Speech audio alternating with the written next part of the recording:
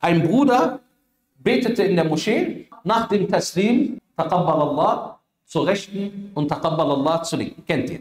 Das Ist keine Sunna.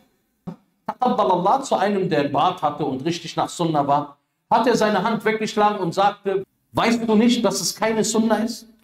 Dann sagte der andere, und ist Verachtung und Beleidigung von der Sunna, was du gerade gemacht hast.